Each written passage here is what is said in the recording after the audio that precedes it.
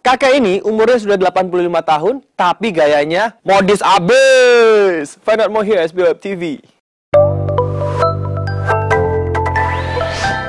Pemuda China dengan nama akun Xiao Ye Chi Xi bikin heboh netizen China beberapa hari belakangan guys. Pasalnya pemuda ini mengunggah foto kakeknya yang berusia 85 tahun di jejaring sosial. Xiao Ye Chi Xi mendadani kakeknya dengan pakaian modis guys. Sang kakek yang biasanya lebih suka berpenampilan praktis ini didandani dengan setelan yang rapi lengkap dengan dasi kupu-kupu dan topi felt yang modis. Setelah itu Xiao Ye Chi Xi mengajak sang kakek ini berjalan-jalan ke pusat kota dan memotretnya bak foto model majalah. Foto hasil jepretan Xiao Ye Chi Xi ini menampilkan penampilan sang kakek yang nggak kalah dari Gunter Krabenhoff yang sempat jadi fenomena dunia maya tahun 2015 lalu. Dilansir dari My Modern Net, Xiao Yuqishi sama sekali tidak menduga kalau foto sang kakek yang dia unggah ke Weibo ini bakal viral di dunia maya.